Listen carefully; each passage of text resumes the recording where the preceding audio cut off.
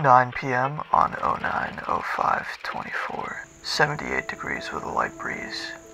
Sitting at 51.3217 degrees north. 116.1860 degrees west.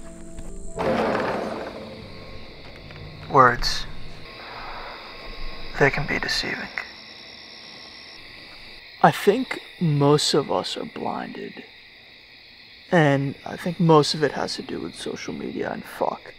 Even I'm duped by it sometimes, but what what exactly do I mean by blinded?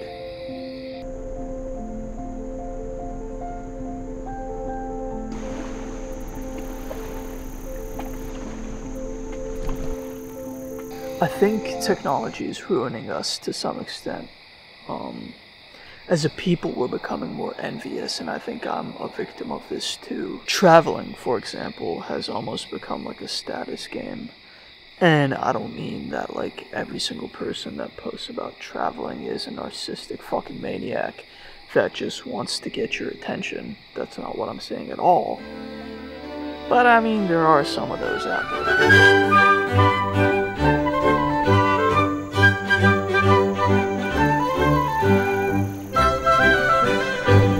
Think most of us are mesmerized by like the beauty that we see through our phones, but then we're unscathed by the beauty that we see through our own eyes. We're we're blinded. I think Moraine at Banff is fucking beautiful.